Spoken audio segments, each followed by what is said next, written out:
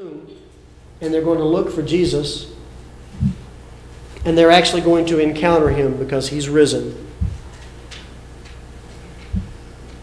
And in that moment, they're going to, he's going to say, Look, I need you to go get, I need you to go get my disciples, go get the disciples and Peter.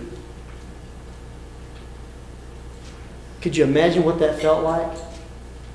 Mary and the other ladies get back to the upper room and they said, Look, Jesus is risen. He's told us he's risen. He needs us to come to him. He needs everybody to come. Oh, and by the way, Peter, he wants you too. Wow. It's not over, it's not done. Two words change his world. And Peter. Go get my disciples and Peter, because these are the things that I need to show them before I go to be with the Father. Here's my encouragement to you this morning we need to be more like Peter.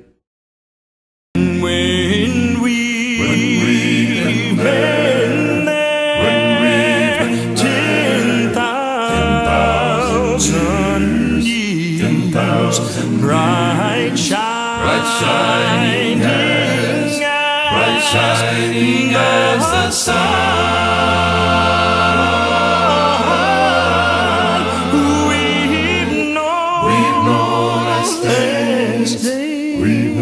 us to sing God's praise. Oh, then when we first begun.